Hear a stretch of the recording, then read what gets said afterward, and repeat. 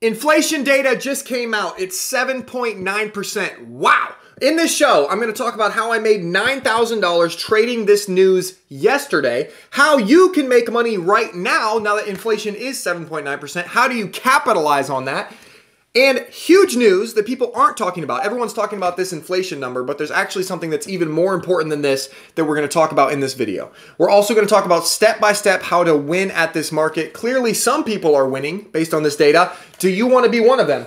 Welcome to the Kale Show. Let's just get on with it, guys. Things are happening fast. I'm actually trading this market, so I don't have time to put together a huge thing. Let's just walk through where we are at since yesterday's video. So yesterday's video, I opened up some shorts. As you could see, here's a screenshot here from yesterday's video, and people are texting me. It's insane. So here's a screenshot from yesterday's video, and I told you guys to short. I told I told you that I was going to short. Why did I do this? Because in my head, there was probably a 0%, maybe a 1% chance that we went to 50K yesterday, and there was a 90% chance that we came back down because of this inflation data. And it was just such an obvious trade. So if you're thinking things through, if you're slowing down, if you stop listening to Bitcoin maximalists, you can still make money in this market. Let me just prove it to you. If you go over to my Twitter, I, I showed you my exact trades. Here we go. I made $4,000 on this one, $1,200 on this one, uh, $3,800 on this one. So, hey, if you're looking at this right now and you're sitting at your computer or your phone or whatever, and you're thinking to yourself, man, that's pretty cool. I wish I could make some money in this market. Or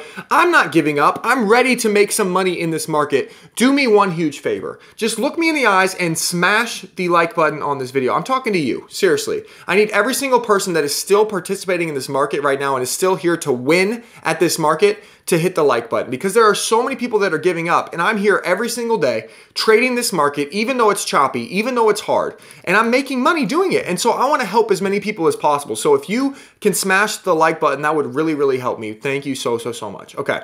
So I closed out my trades this morning at 39K because I don't want to go into the CPI data. This, the, the CPI data was at 8.30 Eastern. I don't want to go into that having any open trades. And as you can see, this is why. The bots, you see this crazy candle? The bots always trade these news events and they always do it in just a crazy way. So what happened with the inflation data? It came in at expectations. The expectation was 7.9%, which I warned you guys three days ago, I don't know, five days ago on YouTube and on Twitter, and blah, blah, blah. And so the, the data came in at 7.9% perfectly. I literally tweeted it out right at 8:30 a.m. right when it came out. So if you're not following me on Twitter, you're behind. You're literally behind. And there were some people that were doing this who actually caught this trade. They actually longed.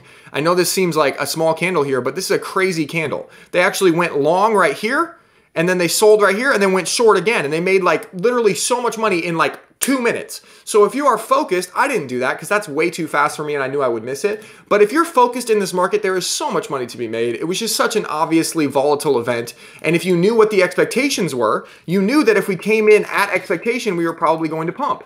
And then you realize that that's all bots. That's literally all just bots and it's going to sell off again. So you could have easily just done that. And so, guys, I don't know. There's just opportunities. So let me just keep going with, with the events of the day and then we'll get on with it, okay? So basically, I, I kept I kept tweeting about all this stuff and how this candle is crazy and yada, yada, yada. But behind the scenes, while all of this stuff is happening, there is some news that is really, really not great for crypto. Okay, so this is Lagarde. This is the head of the ECB, which is the European Central Bank, which is basically our Federal Reserve. You guys know Jerome Powell. You guys know Jerome Powell.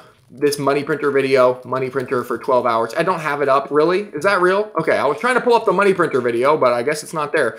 Jerome Powell is the head of our Federal Reserve, right? He is in charge of our money printer. Well, Lagarde is in charge of their money printer, and she says she is going to do whatever is needed to safeguard prices. Whew.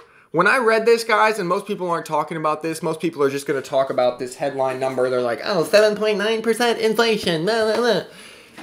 This is why you need to pay attention because if you're a noob to crypto, you're probably like, what does this even mean? They're going to safeguard prices? I don't even understand. This means that they are not going to let inflation go crazy.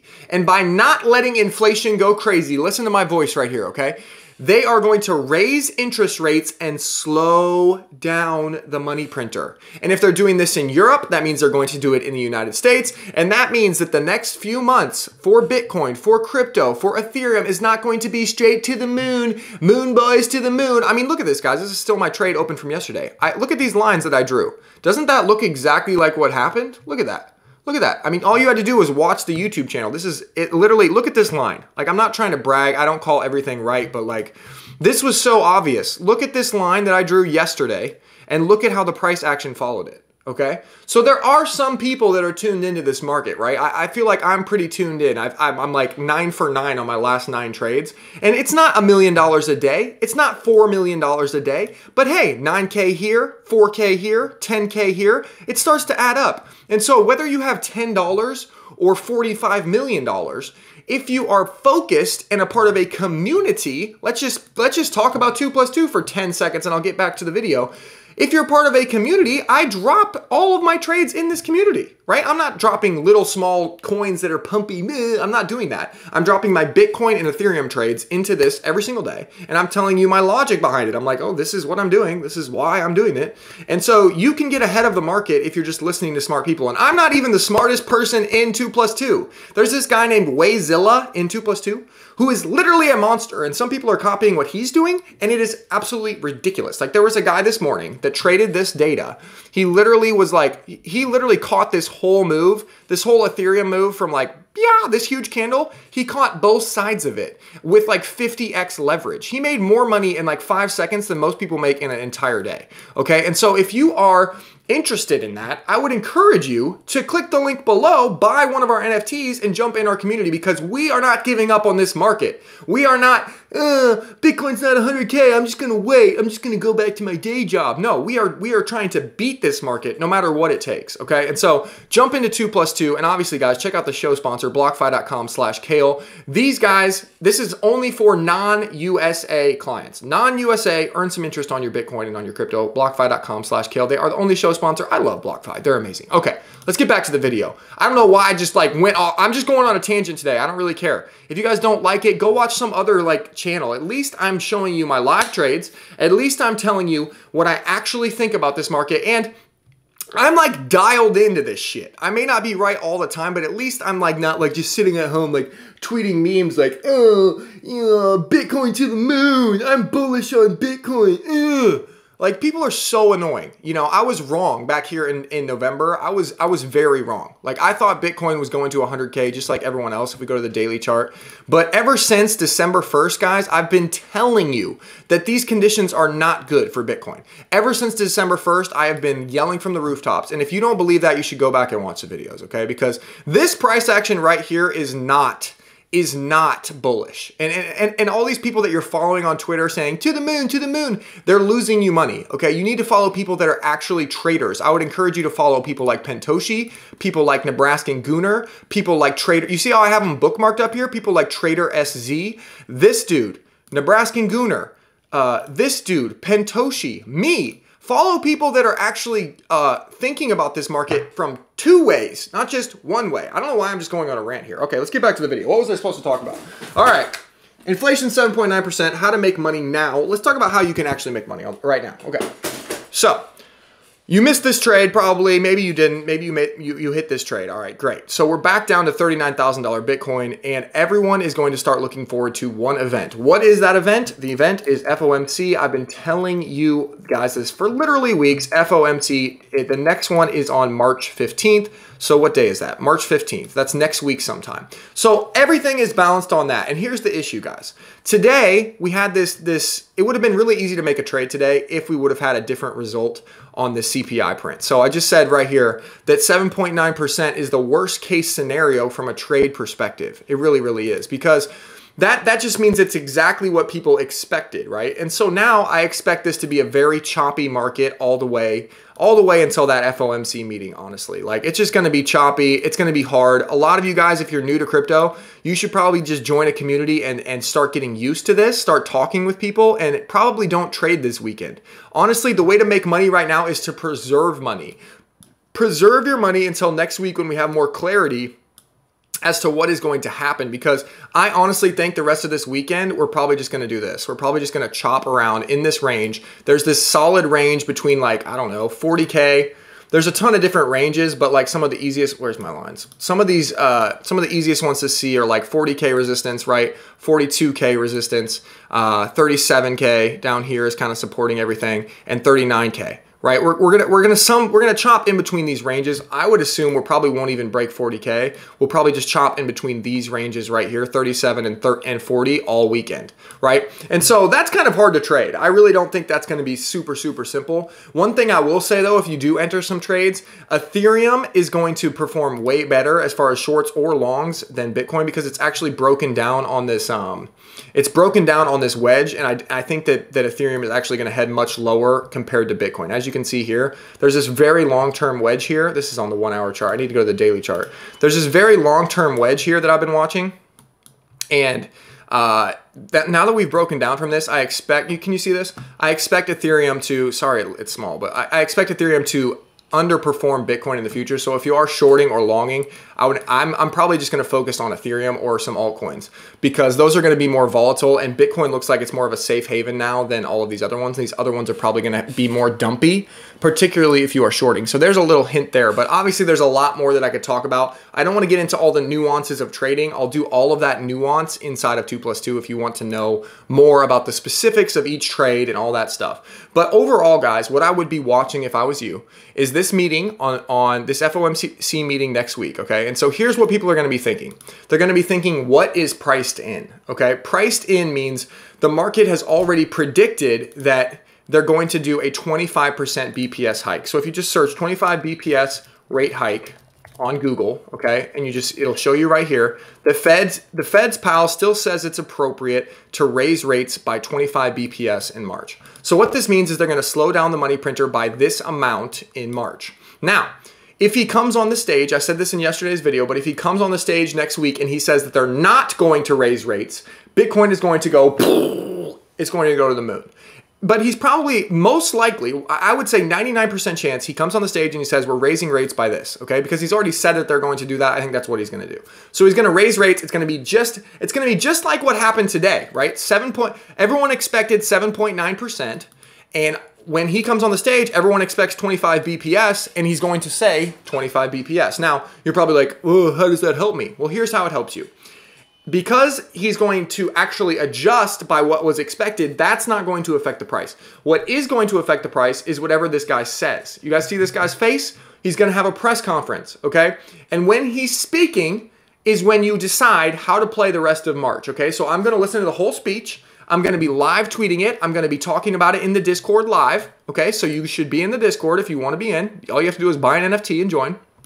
And we're going to be live talking about, he's going to be doing this. He's going to be talking onto the camera, and the whole world's going to be watching. Everyone who has any money is going to be watching this idiot talk, okay?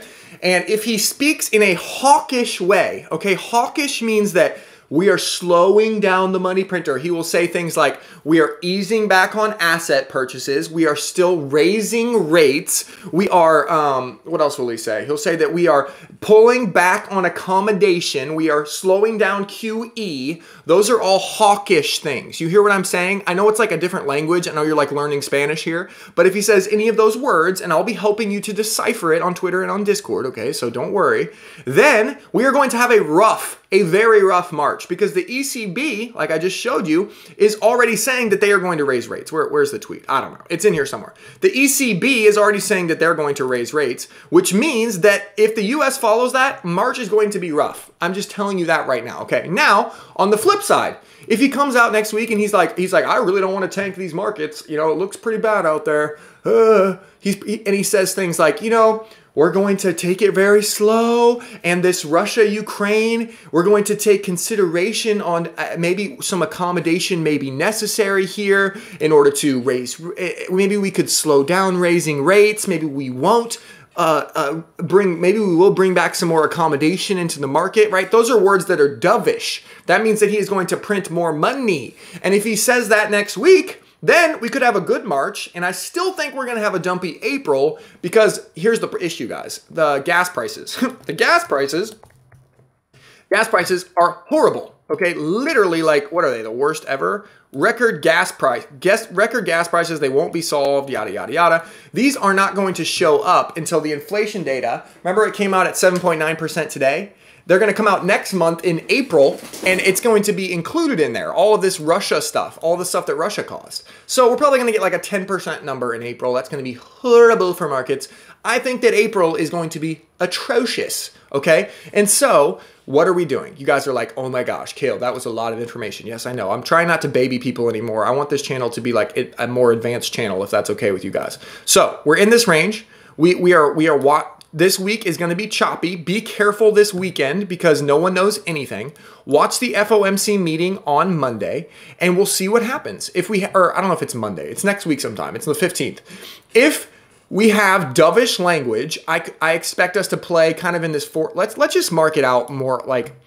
And this is not exact, guys. I'm literally doing this on the fly, but I just want to try to help you guys. Okay, look at this. This is how I try to think of things. I try to think of things more broadly. Okay, what is the, what are the big ranges that like normal people, not traders, normal people think about? Okay, so 50,000, that's a big number. That's a big round number. 40,000, that's a big round number, right? Let's think of the big round numbers that people actually care about. Okay, 50,000, 40,000, and 30,000. There we go. Those three lines determine Bitcoin, in my opinion. Okay, so this is what I think.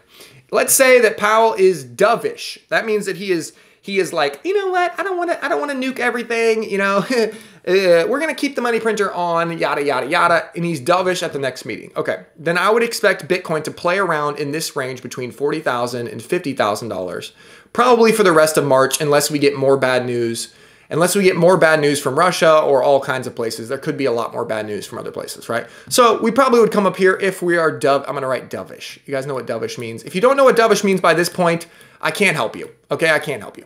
If he is hawkish, if he is hawkish, okay?